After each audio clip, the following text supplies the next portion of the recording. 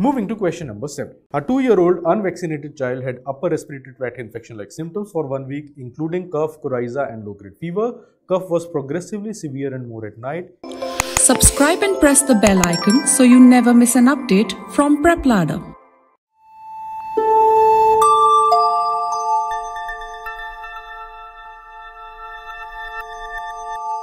Moving to question number 7. A 2-year-old unvaccinated child had upper respiratory tract infection-like symptoms for one week including cough, coryza and low-grade fever.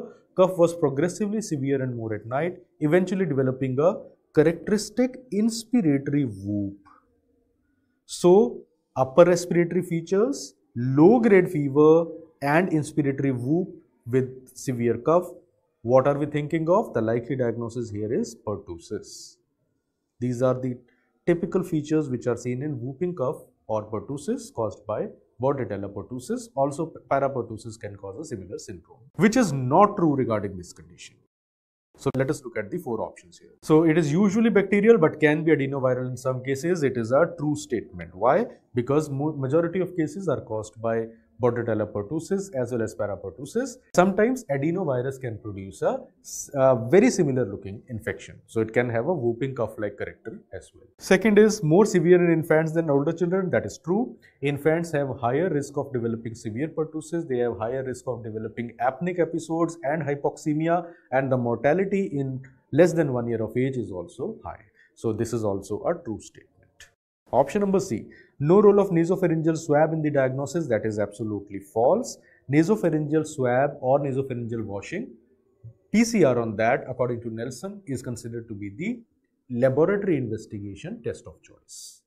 Uh, so nasopharyngeal swab can also be used for culture. Culture is the most specific uh, investigation or you can say gold standard investigation for these patients. And macrolides are the drug of choice. You know that this is also a true statement because macrolides like azithromycin and erythromycin are the first line agents. So they are asking which is not true. So the answer to question number 7 is C.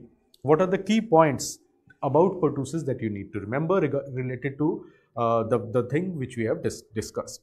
So first thing is clinical point. Whenever there is high grade fever during severe cough episode, it is usually a point against pertussis infection. Please remember.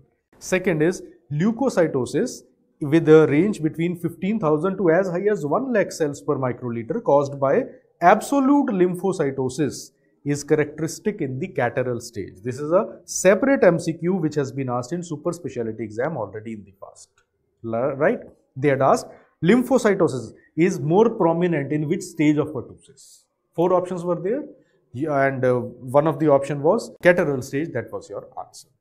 Then PCR done on nasopharyngeal swab or nasopharyngeal washings is the test of choice according to Nelson. Uh, specific diagnosis depends upon isolation of the organism from either nasopharyngeal swab or cough plate culture which has been cultured on Bordet-Gengou medium. And serology is useful. It is a very sensitive test but it is useful in epidemiological studies but commercially it is not easily available. So according to nelson pcr on nasopharyngeal swab or nasopharyngeal washing is the test of choice